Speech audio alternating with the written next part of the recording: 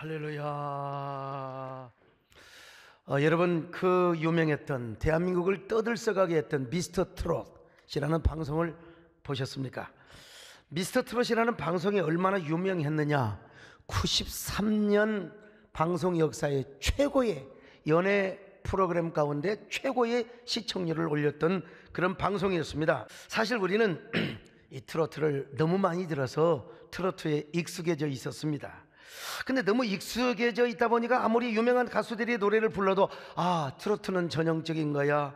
그리고 옛날에 그 추억의 느낌이 이렇게 들게 하였죠. 그런데 TV 조선은 자칫 추억의 시절만 느끼게 하거나 old format으로 전형화될 뻔했던 요 트로트를요.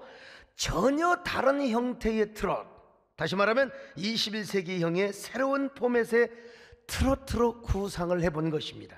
한마디로 트로트의 old fashion을 new fashion으로 변신시켜 보자는 것이었습니다. 그러나 말이 그렇지 이러한 프로그램을 준비하는 게 만만치가 않아요. 어찌 보면 가장 불확실한 목표입니다. 그런데 가장 막연하고 불확실한 목표를 세상에 그것도 종편 방송이 가장 확실하고 성공을 시켰던 프로그램으로 만들어 버렸습니다.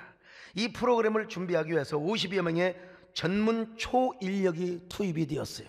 어, 이 50여 명이 프로그램을 설계하는 데 만 해도 3개월이 걸렸다고 합니다. 참가자를 면접하는데 3개월. 그러니까 준비 기간이 6개월이란 말이죠. 그리고 그 지원자가 총 1만 2천 명인데 그 중에서 100명을 선발했다고 합니다. 선발 기준은 먼저 노래도 잘해야 하지만은 눈물겨운 사연과 감동의 스토리가 있어요. 사람을 울리고 감동적인 그런 스토리, 감성이 있어야 된다 이 말이요.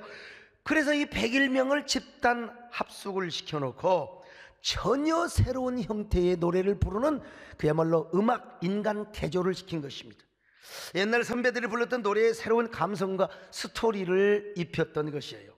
이렇게 노래 연습을 시키고 훈련을 시키는 동안 한쪽에서는 조명을 어떻게 할 것인가, 자막을 어떻게 또 최고의 전문가들의 전체 분위기를 바꾸는 이 준비 작업을 계속 밤을 새워 하는 것입니다. 특별히 초일류 작가들은 프로그램 사이사이의 모든 참가자들의 스토리를 skit으로 제작을 해서 이 소개를 해주는 겁니다. 그러니까 이 스토리와 노래가 함께 가는 것이죠. 이렇게 해서 평범한 출연자들을 놀라운 괴물로 발전을 시켰고 그리고 뻔한 포맷을 새로운 포맷으로 바꿔나갔습니다. 물론 그들 중에요 다 무명 가수로 여러분 뭐 미- 미스터 진선미 다 여러분 가수로 활동했던 사람이요.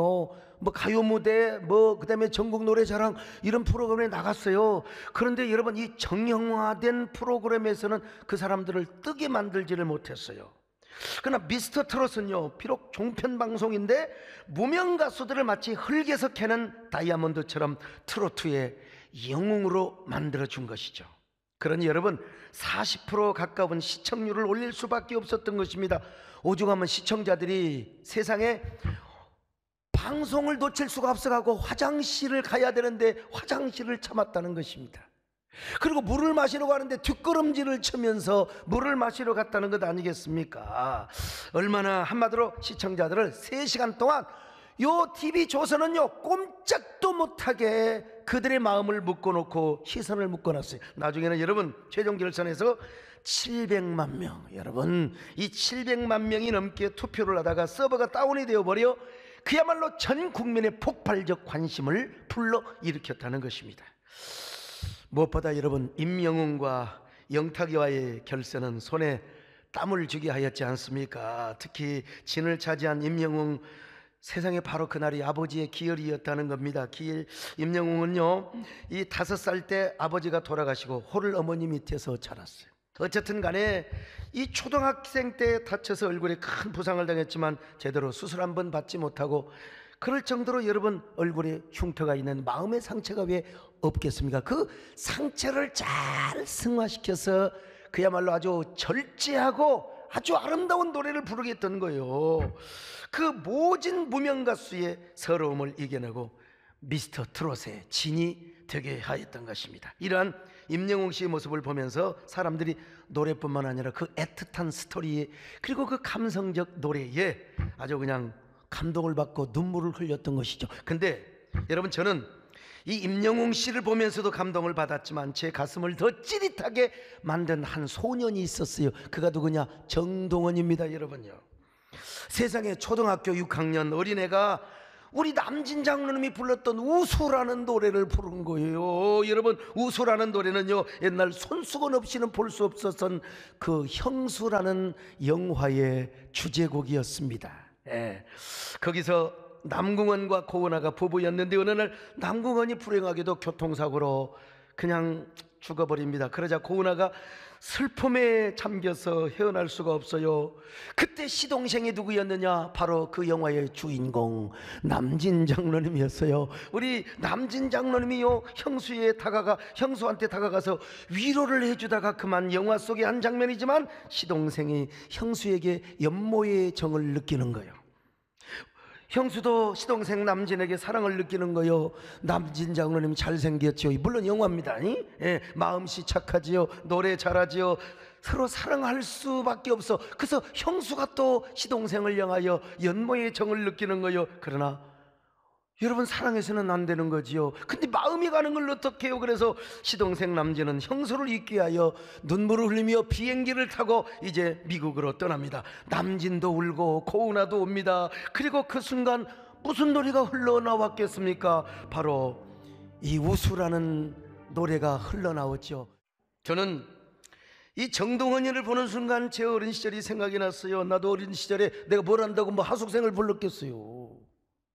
그리고 참 저 저 인생을 봐도요 상여 나갈 때 망가 대회 했으면 내가 어린 시절에 전국에 1등 했을 거요 말이요. 어젯밤에는 안방에서 잠깐만. 오늘 저녁은 풍망산천 어 이걸 누가 해요 누가 해? 아무튼 이 정동원이가 정말 약방의 감초 노릇을 탁 했습니다. 그 약방의 감초 때문에 수천만의 국민이 막 열광을 한 거예요. 근데 저는 이야기를 듣고요. 아, 이것하고 무릎을 쳤어요. 제가 순간 뭘 생각했느냐? 우리 한국교회를 생각한 거예요. 한국교회 예배. 우리 한국교회도 어떻게 하면 미스터 트롯 같은 교회를 이룰 수 있을 것인가? 우리 한국교회가 너무나 뻔한 예배, 뻔한 설교를 했어요. 뻔한 교회 모습을 보여주었던 것입니다. 교회를 어떻게 new fashion, new format으로 바꿀 수는 없을까라는 생각을 제가 해본 것입니다. 지금 세계 모든 사람들은요, 코로나 공포, 이 코로나 포비아라고 하죠. 그렇다고 지금 어느 곳으로 피할 수가 없습니다. 여러분, 과거에는 이런 공포감이 들 때 해외로 도망갔어요. 근데 해외 어디로 가요? 오히려 해외에 있는 사람이 지금 우리 한국으로 다시 들어오고 있지 않습니까? 그렇다고 국내 어느 것이 안전한가? 안전한 거 하나도 없어요. 우리가 그저 조심하고 하나님의 은총 안에 사는 수밖에 없어요. 누구도 믿을 수가 없습니다. 자녀도 못 믿어요, 지금. 어디 가서 어떤 놈을 만나고 온 줄 아냐 이 말입니다 여러분 어떤 통 우리 가족을 믿을 수가 없어 심지어는 나 자신도 믿을 수 없는 불행한 시대입니다 내가 누구를 만나서 내가 어떻게 감염됐는지도 몰라 금방 기침, 기침 나오는 것도 아니고 더더욱 가슴 아픈 것은 교회라는 장소를 믿을 수가 없네 교회가 슈퍼 감염의 집단 일부 뭐 정통 교회는 아닙니다만은 그래서 코로나 위기가 끝나면 철저한 자기중심의 문화로 바뀌어지게 될 것입니다. 집단적 공동체 문화는 철저하게 개개인의 문화로 변하게 될 것이고 정신적인 가치나 영적인 가치보다는 현물 만능주의 마스크도 사재기 해야 돼요. 모든 걸 일단 가지고 있어야 돼요. 그러므로 이런 사유가 되면 될수록 사람들은 더 불안해요. 두려워할 수밖에 없어요 아무리 현물을 가지고 가지고 있다 하더라도 여러분 그것이 나에게 뭐 돈이 아무리 많다 하더라도 그것이 나에게 100% 안심을 주겠습니까? 안정감을 주겠습니까 여러분? 그렇다고 자기 자신을 믿을 수도 없는 상황이란 말이죠. 그러므로 이런 사회가 오면 올수록 사람들은 누구나 진짜 믿을 수 있는 분을 찾게 돼요. 피할 수 있는 그 피난처를 찾게 되는 거예요. 그분이 누구냐면 하나님밖에 없어요. 안 믿는 사람 말로 신, 신밖에 없어요. 절대적인 분이 말이죠. 그래서 여러분 정말 피난처를 찾게 될 때가 오게 되어 있습니다. 반드시 오게 되어 있어요. 오늘 시편 기자가 뭐라고 고백합니까? 하나님만이 나의 피난처요. 환란 중에 만날 큰 도움이라고 고백하고 있지 않습니까? 자, 시편 46편 1절입니다. 시작. 하나님은 우리의 피난처시요 힘이시니 환란 중에 만날 큰 도움이시라. 여러분 그렇다면 여러분 우리 하나님을 섬기고 있잖아요 교회가. 교회가 현대인의 영혼의 안식처요 피난처가 되게 할 수 없을까? 나 이걸 생각해 본 겁니다. 몸된 교회가 현대인의 영혼의 안식처 피난처가 되게 할 수 없을까? 마치 일제강점기에 여러분 한국교회는 민족의 소망이었어요. 우리 조국의 근대화와 산업화를 이루는 과정에서 여러분 영혼의 안식처 위로처가 어디였어요? 여러분 주님의 교회였단 말이요. 그런데 왜 사람들은 교회에서 예배드리는 것을 지나치게 염려하고 불안해야 한단 말인가? 이렇게 수칙을 잘 지키고 있는데 교회에서 예배드리는 일을 혐오스럽게 왜 생각한단 말인가? 이유는 뭐요? 우리 때문에 그래요. 우리 때문에. 우리 때문에. 예배는 정말 신성한 것인데 우리가 예배의 신성한 가치를 몰랐어요. 뻔한 예배를 드렸어요. 감동을 받지 못한 거예요. 그러니까 세상 사람에게도 감동을 주지 못했던 것이죠. 그러니까 현대인들이 교회를 찾아오지 않을 뿐만 아니라 예배를 드리는 모습을 혐오하고 공격을 했어요. 저는 여러분 이런 사실이 너무나 가슴 아픈 거야. 너무나 가슴 아픈 거야. 저는 이런 사실이 너무 안타까웠어요. 아, 지역사회 주민들이 막 이런 생각을 해야 될 거 아니요. 아, 우리는 말이요. 교회 못까지만 여러분들이 교회에서 예배 열심히 드리고 하나님께 기도해서 어서 빨리 코로나가 물러가도록 기도해 주세요. 이런 주문이 빗발쳐야 되지 않겠습니까? 사실은. 당신네들 하나님 앞에 소통하는 사람이니까 우리를 대신해서 좀 기도해서 빨로 빨로 우리 땅에서 빨리 빨리 우리 땅에서 코로나가 물러가도록 좀 기도해 주세요. 아, 이런 그 청원이 빗발쳐야 되지 않겠습니까? 난 너무나 안타까워요. 저뿐만 아니라요. 우리 그 문화체육관광부 장관을 하고 계시는 박양호 장관님이 아까 우리 교회를 오셔서 이분 참 너무 고맙고 감사한 게 이분이 발언을 해주셨거든요. 너무 이게 좀 언론이 교회 비판적인 기사에 쏠리고 있다. 교회가 코로나 수칙을 너무나 잘 지키고 모범적으로 보이는 교회들이 너무나 많은데 일부 그것도 사실은 뭐 독립교회나 일부 이 정통교회는 아니죠. 이런 교회가 뭐 이런 그런 걸 보니까 뭐 신천지나 교회가 같은 것처럼 그래서는 안 된다. 교회는 지금 수칙을 잘 지키고 있다. 그래서 제가 한번 교회 모셨어요. 원래는 교회 오셔서 예배도 드리고 강단에 서셔서 우리 세대인 교회 너무나 잘 지켜서 감사하다고 격려도 하고 치하도 하시려고 했는데 또 장관이 좀에 바쁜 거 아니잖아요. 그냥 금방 오셨다가 한 말씀 나누고 제가 기도해드리고 그리고 교인들에게는 안본을 전해드리고 특별히 우리 남진장은 왜 안보 전해드리고 그리고 예, 가셨어요. 그분이 하신 말씀. 우리 교회 오셔서 고맙다고 한번 영상을 보실까요? 우리 개신교의 대표적인 또 교회인 우리 세례된 이 장로교에 와서 감사하다는 말씀 드리고 이제 보도가 나오는데 근데 그것 때문에 우리 대다수 교회가 너무 폄하되는 것도 폄훼되는 것 같아서 너무너무 안타깝습니다. 사회적 거리두기에 동참해 주신 것 그리고 또 사회적 나눔 활동도 정말 많이 하잖아요. 기부하고 먹고 이런 것도 얼마나 녹음 시설이 좋은지 누가 뭘 떨어뜨려도 저 소리가 그냥 쾅쾅 울릴 정도로 그리고 우리 교회 방송 시설 대단해요. 금방 일을 그냥 자막까지 딱 해가지고 여러분 박수 한번 해주세요. 감사합니다. 우리 방송실들 말이에요. 여러분 얼마 전까지만 해도 이 코로나 포비아라는 말이 유행이었는데 요즘은 코로나 블루, 코로나 우울증이라는 말이 생겨나고 있어요.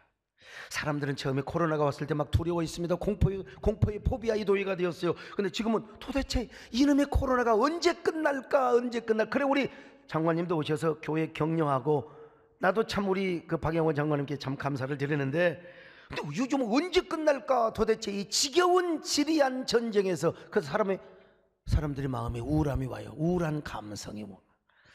이걸 해결해 줄 수 있는 것이 어디냐? 교회입니다. 사실은 교회밖에 없어요. 사실은요. 그런데 교회가 그런 역할을 하기 위해서는 여러분 우리가 먼저 코로나 수칙을 잘 지켜야 돼요. 어떤 목사님들은 말이요 마스크를 왜 예배 시간에 쓰느냐고 이건 좀 아니야. 마스크 좀 써야지 우리가 이웃의 생명을 존중히 여기고 옆 사람을 존중히 여기는 마음으로. 자 그런데 그렇게 우리가 모든 수칙을 잘 지킬 뿐만 아니라 우리 교회가요 예배 포맷을 old fashion에서 새로운 감동과 은혜가 넘치는 new holy fashion으로 바꿔야 할 필요가 있어요. 뻔한 포맷 이걸 new format으로 바꿔야 돼요. 다시 말하면 교회의 모습을 21세기형 새로운 포맷으로. 그렇다고 교회가 확 무슨 뭐 교회 껍데기도 달라지는 말이요 우리 알맹이가 달라진다는 거요. 우리 예배색 예배의 감동 우리 성도들의 내면에 있는 감동이 달라져야 된다는 것입니다. 그러니까 저부터도 어렵게 해왔던 설교 좀 바꿔야 돼요. 바꾸려고 애를 쓰는데 제가 능력이 부족합니다. 여러분도 뻔하게 해왔던 신앙생활 어렵게 해왔던 신앙생활을 진짜 다시 한번 감동과 감격이 가득 찬 신앙생활로 바꿔야 돼요. 그래야만이 우리 한국계 소망이 있습니다. 다시 살아날 수 있습니다. 그리고 정신적, 영적 지도를 그려줄 수 있는 거예요. 오늘 예배에 나오신 여러분들이든지 아니면 집에서 온라인 예배 함께 하시는 분들 온라인 예배자들을 여러분 우리 축복합니다. 이곳에 계신 분들 그분들에게 좀 격려의 박수 한번 해드립시다. 할렐루야. 예, 정말. 오늘 진짜 여러분요 정말 예, 귀한 분들 뭐 제 보니까 지금 만 6천 6, 700명, 7, 800명 함께 하고 있는데요. 오늘 여러분들 가정에서 화면으로 지금 설교를 듣고 예배 드리고 있는데 여러분 6천 7, 800명이면 지금 두 명만 봐도 여러분 12,000명, 13,000명이에요. 가족 단위로 지금 너댓 명이 보고 있다면 여러분 2만 명 이상의 지금 이 온라인 예배에 이 삼부 예배에 참여하고 계십니다. 그런데 오늘 사랑하는 여러분 우리부터 새로워져야 되겠어요. 우리부터 new fashion의 성도가 되고 new format의 교회를 이루기 위하여 여러분 우리 함께 그런 마음을 갖기를 원하시면 아멘 하시기를 바랍니다.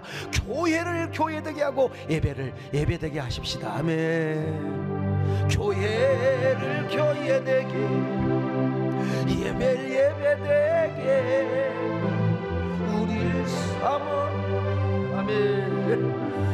진정한 임하도록 우릴 사용하소서.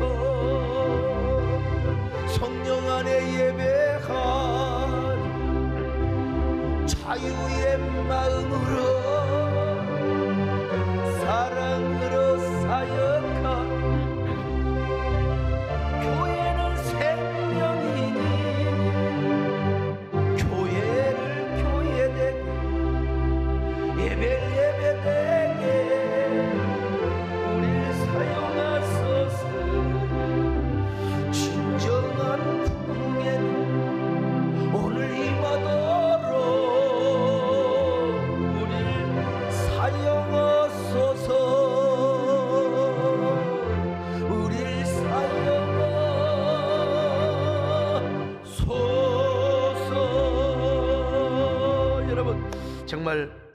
이런 코로나 위기 상황 속에서도 아, 교회는 영혼의 안식처야. 교회는 영혼의 피난처야. 우리가 피할 곳은 교회밖에 없어. 이렇게 좀 현대인들에게 각인시켜 줄 수 없을까? 그리고 코로나 위기가 끝나면 기다렸다는 듯이 전국에 흩어져 있는 지역 주민들이 막 다 가까운 교회로 몰려들게 뭐 그런 놀라운 역사는 일어날 수 없을까? 토떼기 시장처럼 말이죠. 그 비결을 음, 오늘 본문에 다윗이 소개해 주고 있어요. 여러분 그것은 뭐냐? 우리가 먼저 예배를 사모하고 예배를 개혁해야 된다는 것입니다. 다윗은 불행하게도요 아들 압살롬의 반란으로 인하여 궁궐에서 도망을 가 광야로 피신을 하였어요. 그는 가까스로 목숨을 연명하면서 광야를 유량하고 있었습니다. 이때 다윗이가 잊을 수 없는 것이 하나 있었어요. 그것은 자신의 왕좌냐, 궁궐이냐, 침상이냐, 후궁들이냐 아니에요. 그가 그렇게 잊을 수 없었던 것은 언약궤가 있었던 바로 하나님의 장막.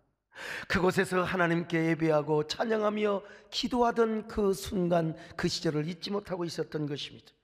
그래서 그는 꿈에도 하나님의 장막을 그리워하고 있어요. 그가 얼마나 하나님의 장막을 삼어 있는지 몸과 영혼이 쇠약해 버릴 정도였습니다. 영혼의 상사병이 들 정도로. 한번 여러분 다윗의 고백을 볼까요? 자, 시편 84편 1절로 2절입니다. 시작. 만군의 여호와여 주의 장막이 어찌 그리 사랑스러운지요 내 영혼이 여호와의 궁정을 사모하여 쇠약하며 내 마음과 육체가 살아계시는 하나님께 부르짖나이다 그래서 그는 하나님의 장막에서 집을 짓고 살던 참새 제비가 부러웠어요. 옛날 우리 시골에서 그 처마 밑에 말이죠. 그 제비가 집을 짓고 살았잖아요. 참새가 그 어디 뭐 기, 어디 저 기와집 그 초가집 어디다 어디다가 었는지는 몰라도 아무튼 집을 짓고 살았어요. 그런 참새가 부럽고 제비가 부러웠어요. 다윗이가 자 시편 84편 4절 3절입니다. 시작. 나의 왕 나의 하나님 만군의 여호와여 주의 재단에서 참새도 제 집을 얻고 제비도 새끼들 보금자리를 얻었나이다 그래서 그는 그 주의 장막에서 기도하고 찬송하고 예배대한 때가 그렇게도 그리웠어요. 예배하던 때 그립지만 너무나 사모하지만 그 장막에 달려갈 수는 없어요. 차라리 내가 참새라면 달아서 갈 텐데 제비라면 달아서 갈 텐데 갈 수가 있나요, 여러분? 그래서 그는 지금 주의 성전을 사모하며 하나님의 언약궤 앞에서 찬송을 드리던 때를 지금 생각하고 있습니다. 주의 성전 안에서 하나님 찬양하던 때를 그리워합니다. 주의 성전 안에서 주의 성전 안에서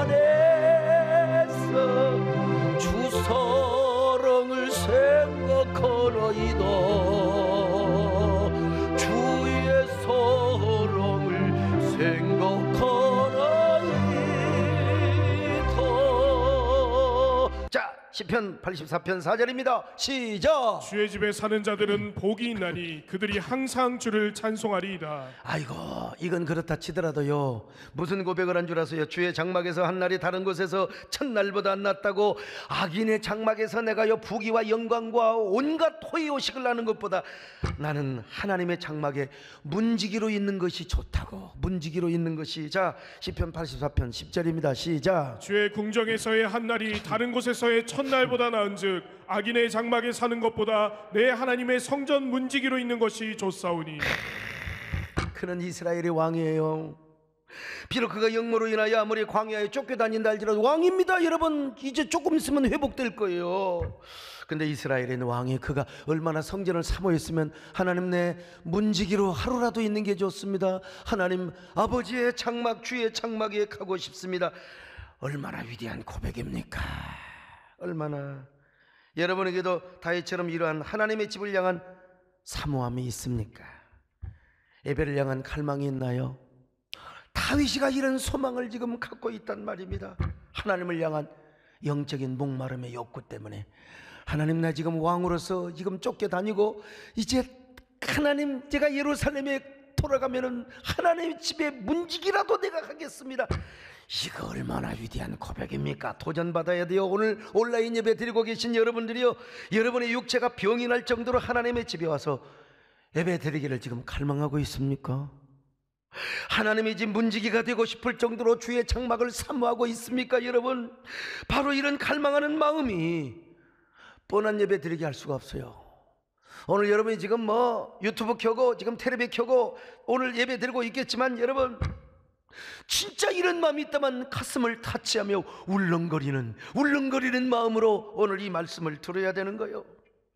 이렇게 우리가 사모하는 마음과 새로운 존재로 예배를 드릴 때, 새로운 영혼의 옷을 입고 예배를 드릴 때, 교회가 세상 사람들 앞에 드디어 새로운 모습으로 이렇게 보이게 되는 겁니다. 우리가 달라지는데 말이죠. 새로운 포맷의 교회로 여러분 비춰지게 되는 것입니다. 그러므로 여러분, 저를 비롯해서 여러분 모두가 예배를 갈망하시기를 바랍니다.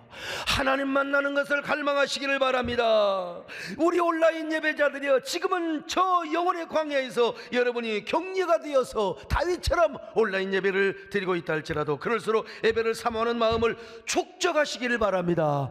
지금 여러분이 교회를 다 오면 안 됩니다. 우리는 수칙을 지켜야 됩니다. 그러나 교회를 오고 싶어하는 그 마음을 농축을 시켜놔야 돼요.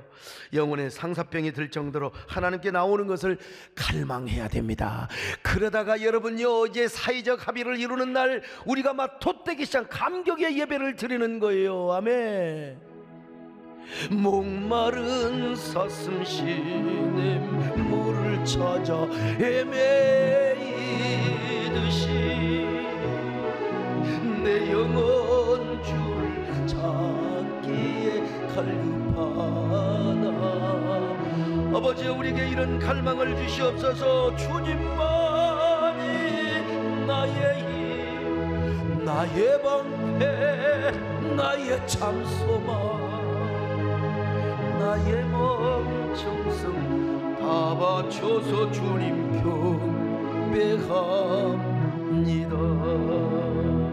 그러면 여러분 다윗이 왜 이렇게 하나님의 장막을 사모한 줄 아십니까? 그는 하나님의 집에 나갈 때마다 항상 마음의 시온대로가 열렸어요. 시온대로, 시온대로.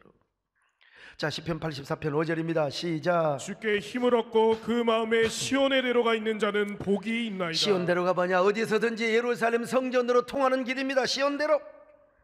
오늘 본문은 이 시온대로를 하나님과의 소통 혹은 하나님의 은혜와 축복이 오는 길에 대한 하나의 상징적 은유적 표현으로서 하나님의 보좌와 나 사이에 시온대로가 쫙 열린다고 여러분 표현하고 있어요. 다윗이 하나님의 집에 가서 찬양도 하고 기도할 때면은 여러분 하나님의 보좌와 자신과의 사이에 시온대로가 쫙 열리네.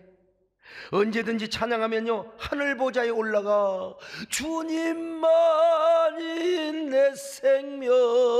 그러면 그냥 이 찬양이 쫙 올라가는 거예요.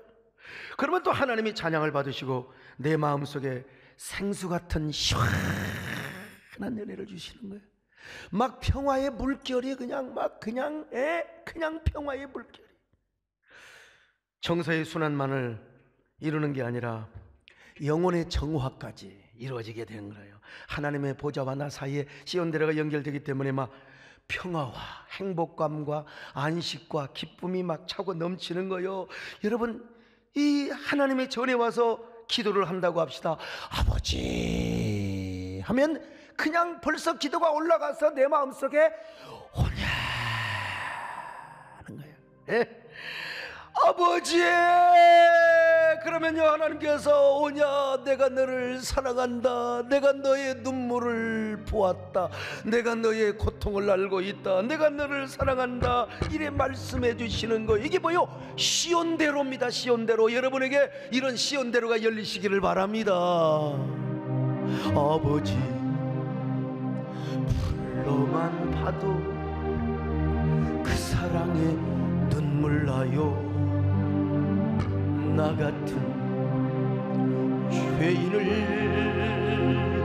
사랑하신 아버지. 그 다음에 중약하고요. 아버지. 아버지. 내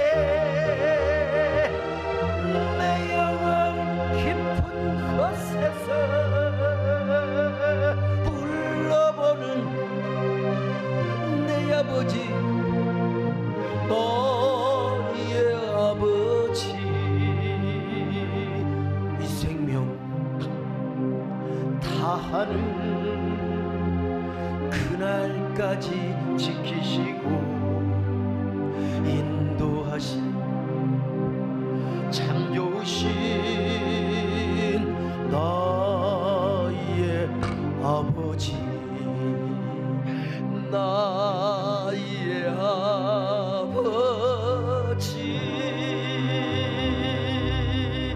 마음에 시온대로가 열리는 예배를 경험하는 성도들이 많으면 우리 사회도 정화가 됩니다 여러분요. 여러분 우리나라도 정화가 됩니다. 이런 아름다운 마음들 정화된 마음들이 세상에 나가면 그 정결한 영혼의 영향력을 행사하게 되는 거예요. 뉴욕 베나탄에 센트럴 파크를 만들자고 했을 때 수많은 사람들이 그 비싼 땅에다가 무슨 공원을 만드냐고 여러분 센트럴 파크가 여의도의 세 배 넓입니다. 그런데 많은 사람이 반대를 해요. 어, 그 땅에다가 건물을 지어서 말이요. 그냥 그 분양을 하면 얼마나 돈을 많이 벌겠느냐. 그때 센트럴 파크를 설계한 옴스테트가 이런 말을 했습니다. 여러분, 지금 이 공원 만들지 않는다면 100년 후에 이 넓이에 정신병원을 지어야 할 겁니다. 참 멀리 보고 뉴욕 맨하탄에 센트럴 파크가 있기 때문에 사람들의 마음과 정서가 정화되어서 정신병은 그렇게 필요가 없는 거예요. 뉴욕이라는 도시가 얼마나 바쁜 도시인 줄 아세요? 그 바쁜 도시에 센트럴 파크가 있으니까 이 정서적인 순화와 정화가 되는 거요. 그런 공원에 다니면서 좋은 노래를 불러봐야 내가 언젠가 여러분 이래봬도 제가 뉴욕에 집회 가서 센트럴 파크를 착 하면서 노래를 불렀다는 거 아닙니까? 하물며 하나님의 장막에서 진정한 노래를 부르고 찬양을 부른다면 여러분 시온대로가 열려요. 정서대로가 아니라 시온대로, 시온대로가 활짝 열리며 신령한 체험을 하는 성도가 많으면 많을수록 이 세상은 아름다운 사회가 됩니다. 사회가 정화가 돼요. 사회가 더 정결하고 순화가 된다 이 말이요. 뿐만 아니라 그런 사람은 어디를 가든지 빛과 소금의 역할을 하게 되는 겁니다. 이런 사람은 수직적인 신앙을 가지고 예배를 목숨을 걸고 지킬 뿐만 아니라 우리 교회는 여러분 예배 불씨를 끝까지 잡지 않습니까? 그러면서도 수평적 신앙으로 이웃의 생명을 존중합니다. 마스크 쓰고 또 우리가 다 간격을 유지하면서 우리가 잘해야 이웃 사이의 집단 감염에 이 뭡니까 그그 슈퍼 감염이 되지 않는 겁니다, 여러분. 우리가 이런 좋은 마음을 품고 예비하는 사람을 통하여 시온대로가 있는 사람을 통하여 하나님께서 이 세상에 많은 축복이 흘러가게 하는 거예요. 은혜가 흘러가게 하는 겁니다. 이게 뭐요? 영적인 빛과 소금이죠. 그리고 우리가 행실도 좋은 행실을 하는 겁니다. 그래서 우리는 여러분 저 대구 경북 지역에 손소독제 제일 뻔, 빨리 보내서 제일 먼저 먼저 먼저요. 마스크도 지금 오면은 빨리 지금 보내려고 하는데 이게 마스크 왜 이렇게 지난주에 온다고 했다가 또 온다고 했다가 이번 주는 진짜 온대요. 오자마자 여러분 태국 경북에 아그 우리 지역에도 뿌리려고 해요. 우리 지역에도. 그래서 약국에 가서 마스크 사지 못하고 울고 가는 사람들 울면 안 돼, 울면 안 돼 하면서 나눠 주려고 합니다, 여러분요. 우리가 주변 교회에 에, 뭐죠? 그 분무기 또 소독약 사서 우리가 이렇게 50여 교회에 다 이렇게 이게 우리만 잘 살자는 것이 아닙니다. 개척교회 어려운 게 우리가 서로 함께 나눠주는 거예요. 우리가 이렇게 할 때 한국교회 모습이 새로운 포맷으로 보여지게 되고 현대인들이 아 그래 교회는 좋은 곳이야. 그래 교회는 가면 좋은 말씀도 듣고 영원히 안식처고 피난처가 되는 것 같아. 이렇게 의식화되는 거죠. 근데 중요한 건 뭐냐? 우리가 교회 생활하면서 마음의 시온대로를 경험을 못했어. 맨날 와서 전화, 뻔한 예배 드리고 꼭 그 기억에 남는 건 다른 말씀 아니라 뭐 꼭 그 노래 부르는 것만 기억하고 가네 하면 목사의 노래 말이죠. 여러분 우리가 너무나 뻔한 예배를 드려왔고 너무나 뻔한 교회 생활을 해왔어요. 그러니까 전혀 영향력이 없는 아주 죽은 그리스도인들이죠. 예, 화석화되는 교회. 그러니까 현대인들에게 교회가 안식처의 모습으로 비춰지지 않았던 것입니다. 피난처의 이미지로 각인화되지 않았어요. 교회만이 진짜 영혼의 피난처인데 말이죠. 피난처, 피난처인데 말이죠. 그러니 가슴 아프지만요. 우리 때문에 교회 모습이 이렇게 흐려지게 보였던 것 아니겠습니까? 이 얼마나 안타깝고 분한 모습입니까? 그러나 다윗은 여러분 우리에게 어떤 도전을 주고 있습니까? 먼저 예배를 사모하며 하나님의 집을 사모하고 갈망하는 모습을 보여주었던 것입니다. 그가 압살롬에게 쫓겨나서 광야로 도망다닐 때 그를 알고 그를 따라다녔던 무리들이 처음에는요 다윗을 조롱하였어요 당신 하나님이 어디 있어요? 말이요 왜 왕이 돼가지고 이렇게 쫓겨다니냐고 당신 하나님이 어디 있냐고. 말이요.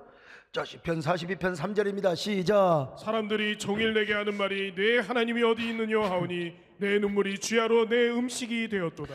여러분 사람들이 종일 그렇게 네 하나님이 어디 있냐고 하니까 여러분 얼마나 하나님 환란 날에 나를 왜 지켜주지 않습니까? 이렇게 하나님 앞에 원망을 하는 게 아니고 다윗은 울면서 눈물 흘리면서 다시 하나님을 사모했습니다. 나는 다른 것다 소용없어요. 왕도 중요하고 다 중요하지만 하나님 나는 하나님의 전에 나가서 하나님을 뵙는 것이 나의 소망입니다. 하나님. 제가 얼마나 하나님의 집을 사모한 줄 아세요? 하나님께 나가 예배하는 일을 얼마나 갈망하는 줄 아세요? 얼마나 그 사모함이 진하였으면 내 육체와 영혼이 쇠하였겠습니까? 주님 어서 빨리 하나님의 장막으로 가게 하옵소서. 어서 빨리 당신 앞에 이르러 마음껏 예배하는 날이 오게 하옵소서. 광야에서 다윗은 울며 울며 목이 터지도록 불며 외치며 노래했던 하나의 그 가사가 있어요. 주님은 내 사랑이요, 주님은 내 생명이라 이거요. 주님은 내 사랑이요 고귀한 내 생명이요 내 가는 인생길에서 주님은 내 소망이요 주님은 내 행복이요. 나에게 참 사랑이요. 그 무엇과도 바꿀 수 없는 주님은 소중한 주님. 나 주님 영원히 온 세상 모두가 변한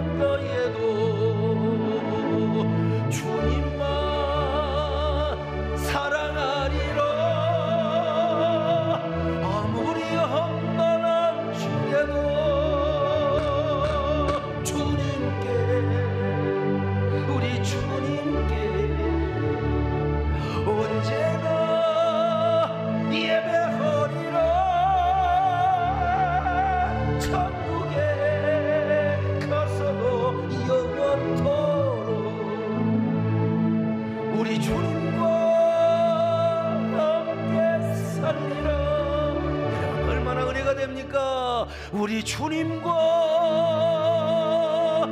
함께 살리라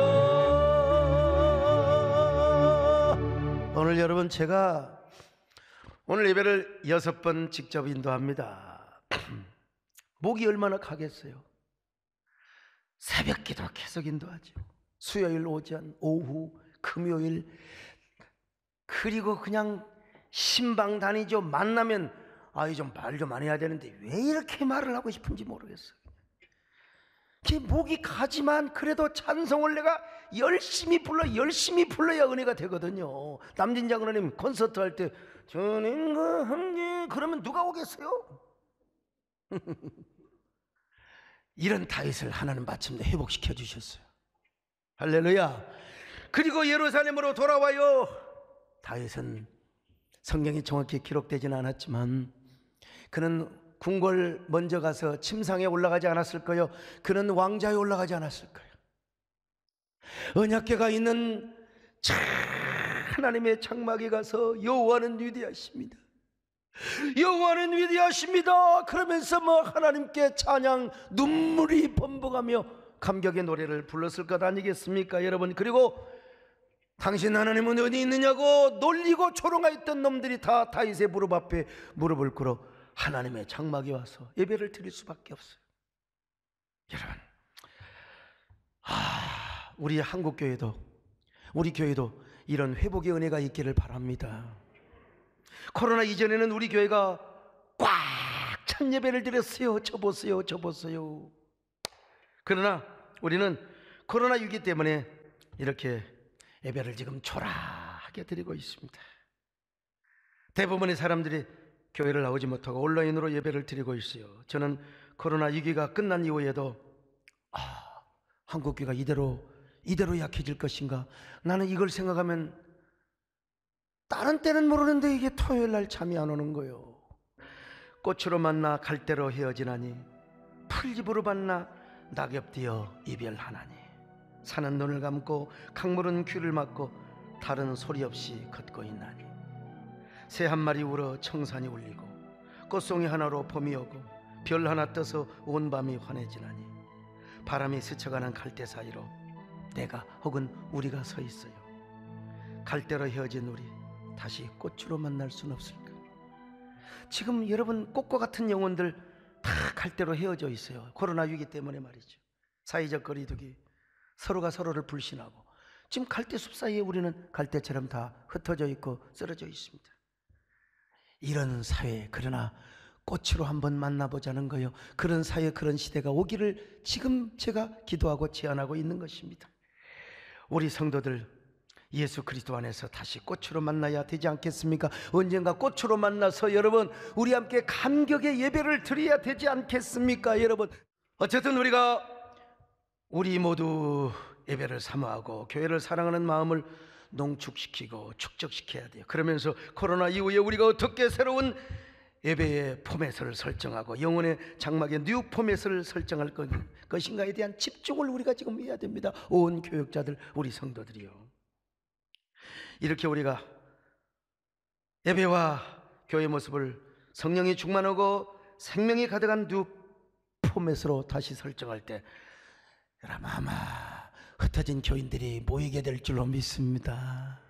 그리고 코로나 우울증으로 앓았던 사람들이 나는 교회를 찾아오리라고 믿습니다. 여러분, 저 이태리에 율리안 우반이라는 의사가 있어요. 이태리가 지금 난리야, 난리야. 이 마스크도 쓰고 그러지 그냥 애들을 함부로 만나서 어깅하고 그냥 한번 수백 명씩 죽어요, 그냥. 그러니까 이제 얼마나 그, 어, 그, 정말 그, 그 생과 사의 갈림길에서 환자들을 치료하는 의사들이 있잖아요. 근데 75세 드신 목사님이 오셔가지고 성경을 읽어줘. 여기요. 여호와는 나의 목자시니 내가 부족함이 없으리로다. 수고하고 무거운 짐진 자들아 더 내게로 오라 내가 너희를 쉬게 하리라. 그랬더니 그 성경 말씀을 듣고 의사들이 예수를 믿어버렸대. 나는 이런 때가 오리라고 믿습니다. 이런 시대가 한국에도 오리라고 믿습니다, 여러분. 교회는 하나님의 장막이요, 영혼의 장막입니다. 하나님의 장막에서는 하나님께 예비하는 모임이 북적거려야 되고, 영혼의 장막은 사람들이 와서 피난처로, 안식처로, 그리고 위로처가 되어야 돼요. 오늘 이런 일을 회복하는데, 영혼의 장막을 new format 하는데, 여러분 쓰임 받고 싶지 않습니까? 여러분이 그렇게 쓰임 받으시기를 바랍니다. 여러분들이 그런 교회 세움과 예배 세움에 쓰임 받으시기를 바랍니다. 그러기 위해서 여러분이 먼저 영혼의 옷부터 갈아입어야 돼요. 예배를 갈망해야 됩니다. 그리고 그 모습을 이웃에게 보여줘야 돼요. 그런 저와 여러분, 우리 모든 한국 교회가 오늘 유튜브를 통해서 함께하는 모든 성도들, 아유 세상에 한국 교회 생각기보다 예배 안 드린 교회가 많더라고요. 오늘 이 유튜브를 통해서 예배 함께하는 모든 분들 그런 은혜, 그런 축복으로 쓰임 받으시기를 축원합니다. 하나님 아버지 고맙습니다. 감사합니다. 우리 모두 이런 하나님의 축복된 영혼의 장막을 new format시키는 저희들 되게 하여 주시옵소서. 예수님의 이름으로 기도드립나이다. 아멘.